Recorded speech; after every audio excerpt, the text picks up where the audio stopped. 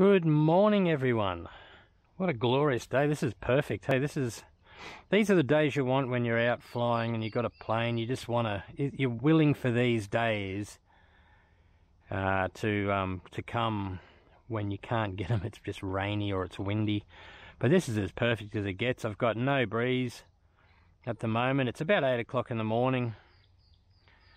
Uh, you can see the windsock there is just hanging. So there's no breeze. Not a cloud in the sky. Absolutely stunning day. Perfect day to fly. So at the field today I've got my Phantom FX 61. This has just had um, iNav 5 installed on it. So I'm pretty keen to give this a go. It's um, a pre-released pre-released version of iNav 5 so this um, craft anyway wasn't running iNav 4 so it's been a while since I've flown it so I thought well why put iNav 4.1 on it when I might as well just put the pre-released iNav 5 on it and just um, see how it is. So the plan with this will be to to get it up in the air. Once it's in the air I want to give it an, an auto tune again just to get everything good. And um, yeah, we might just see what sort of flight times it gets as well and compare it to my ZO HD Dart XL which I flew uh, last week here. Um, I'm also quite keen to try this. I've made a mount for my um, for my screen here. I've got an e uh, this is a um, an Eachine EV800D FPV goggles that you can get. They're fairly cheap from Banggood. Um, the good thing with them, they they pull apart. Um, I'll have a video on this and this link uh, where I, I, bought this from. Also got that from from Banggood too, the connection for this. But that's a good um, option for an unused pair of FPV goggles. Um, show you uh, show you your um, video telemetry on screen while you're flying. A little bit heavy, but well, can't ask for everything. I'm going to be running my ZO HD um, 10,000 milliamp. So, okay, let's get it in the air and get some satellites going and have fun. So this plane's got a, uh, a um, RunCam split that will record some high definition footage for you. Hopefully I can also get some telemetry footage from the, the goggles.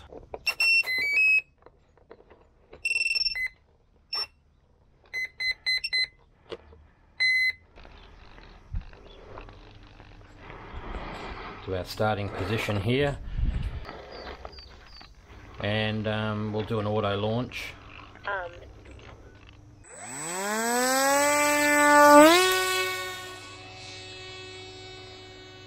okay so the auto launch on this craft usually works pretty well with a 10 inch prop on it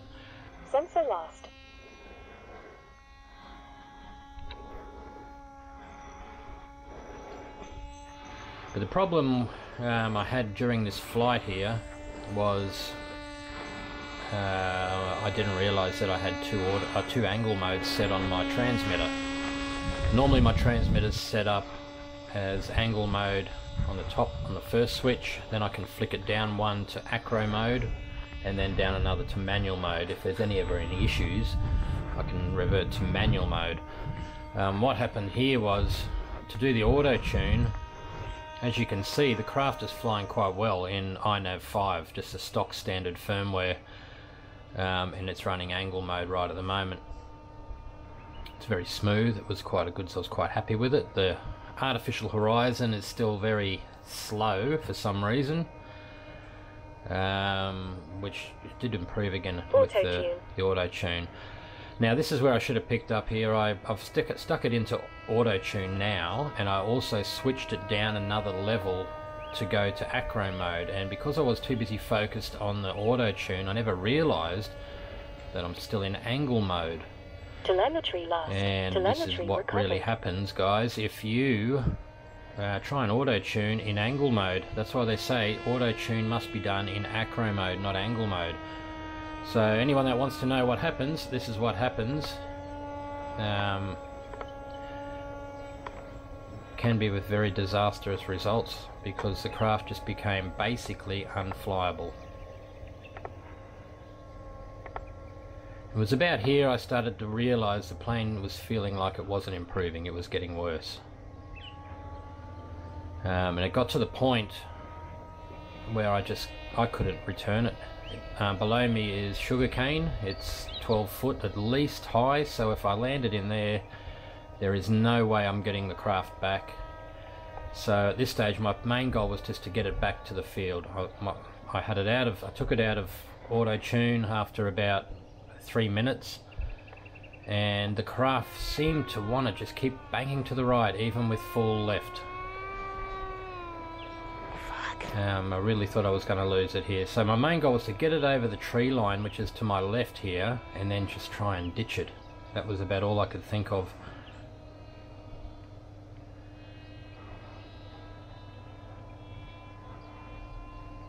The artificial horizon is way off. You can see how bad it's getting. I still never realised I was in only in angle mode. And I should have seen it on my goggles. I don't know what I was thinking.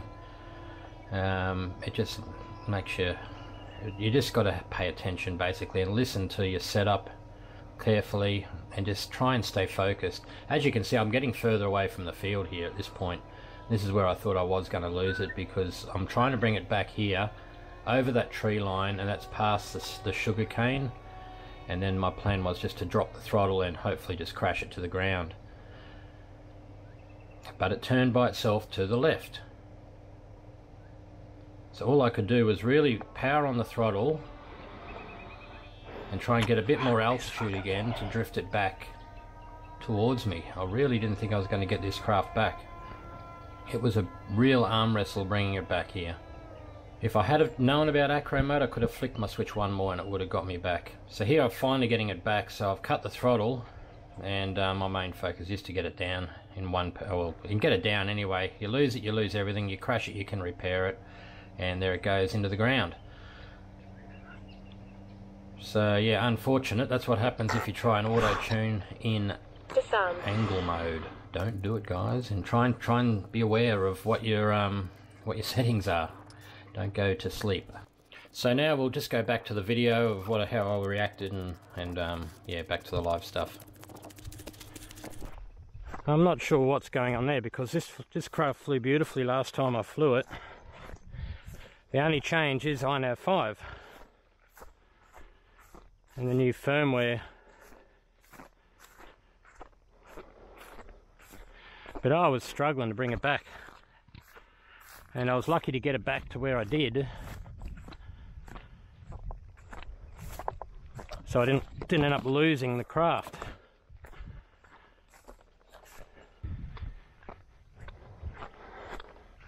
I'm just glad I got it back. At one stage I thought it was going, it was right over that direction over there. It's all sugar cane, it's very long. If it had have landed over there, absolutely no chance I would have been able to find it.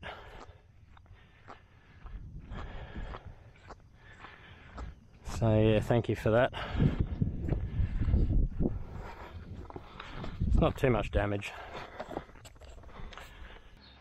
Alright, so I'm back home um, I think I've worked out what the problem was, and it was my fault.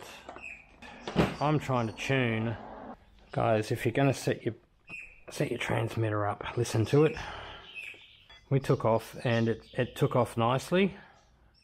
And then I put it into loiter mode, and loiter was fine too while I set myself up for the auto tune. I went to go to acro, right? Before I did that, I went to go to acro Angle. and it's still angle. I didn't realize I've got angle, angle up, angle, angle on the second side of the switch, acro, and then acro, which is where I would have been right. So what I did, I gave it one flick, thinking I had angle, acro, and then manual. Instead, I've got angle, angle, acro. Angle listen to your transmitter guys. Basically, I would have heard it. I should have heard it, but I didn't take any notice of it. So I'm trying to tune it. Um, Auto tune. While it's in angle mode, and that was the reason why I couldn't bring it back because it's tuning itself, and I think it's making it worse because I'm in angle mode because I'm tuning. Um, very lucky to get it back really guys. If I had have just flicked Acro. it into acro, one more flick of that switch, it would have been a totally different flight I think.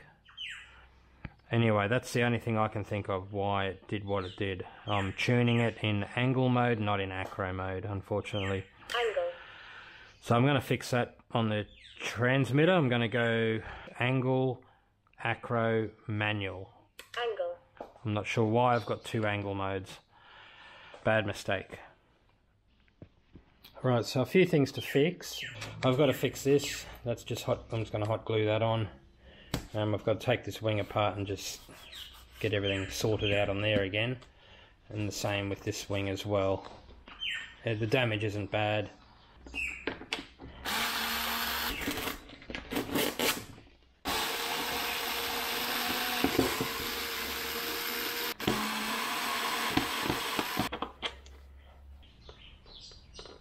in here.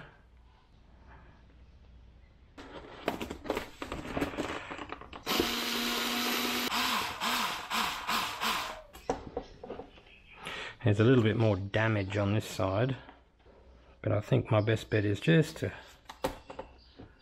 stick the whole thing in. Just hot glue it all together.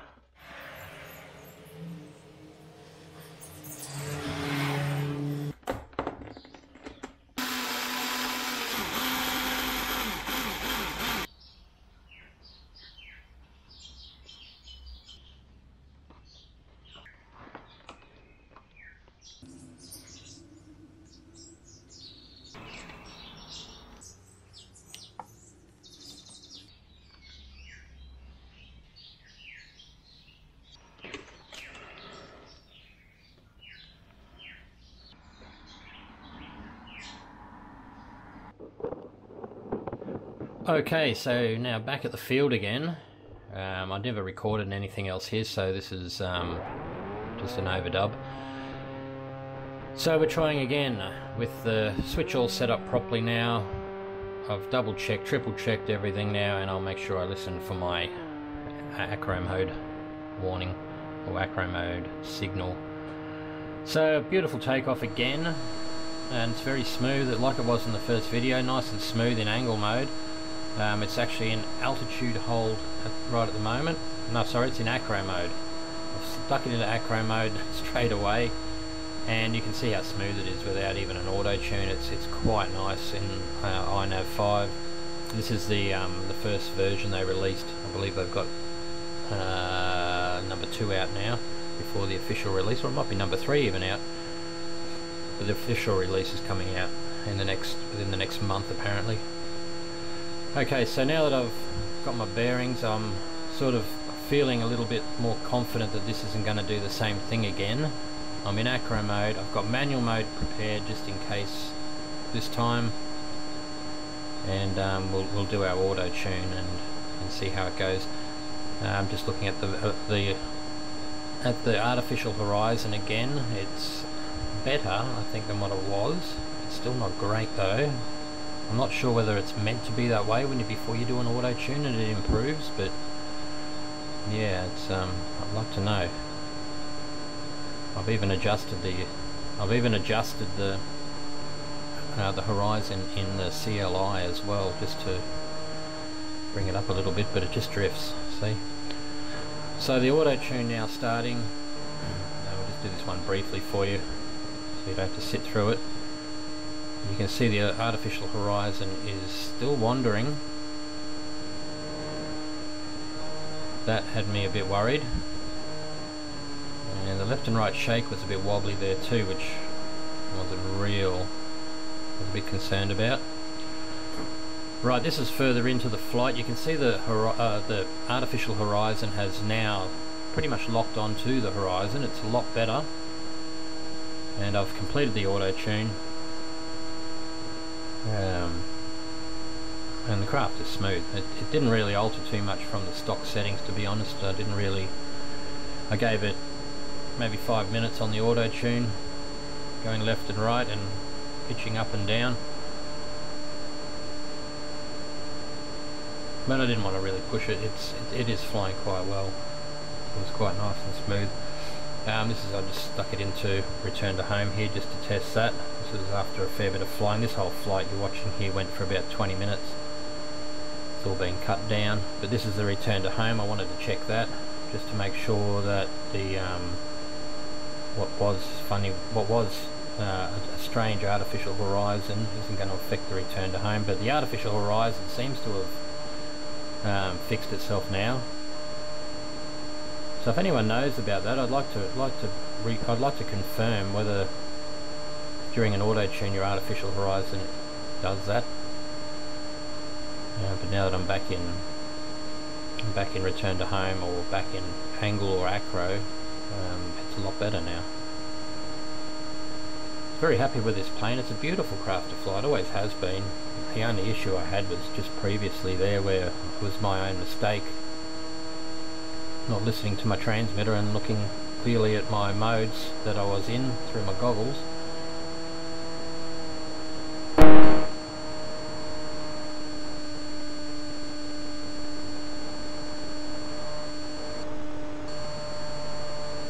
So we'll do another loop around and um, bring it in for, for a landing. Like I said, I didn't want to push this one. My plan originally was to do a quick auto tune and then give it a bit of a range test at the same time and just I've had a, had a lot more confident with this confidence with this plane um, but lost it after that first flight so I just had to get my confidence back with it which I have now it's, it's flying lovely it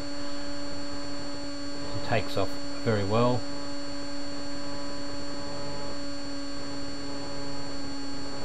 return to Homeworks, its loiter works I even tested the altitude hold and cruise mode and they both work quite well. I didn't didn't add this to the video though.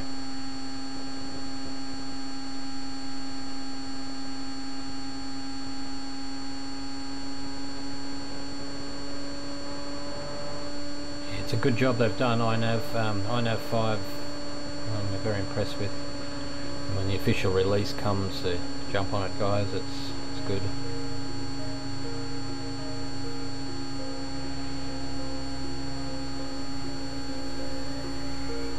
So we'll bring it round now and we'll come in for a landing. And I hope you enjoyed the video. That was my little ups and downs. But in the end, iNav 5 is awesome. iNav is awesome in general. Thanks guys. Have a good one. We'll see you in the next video. Bye for now.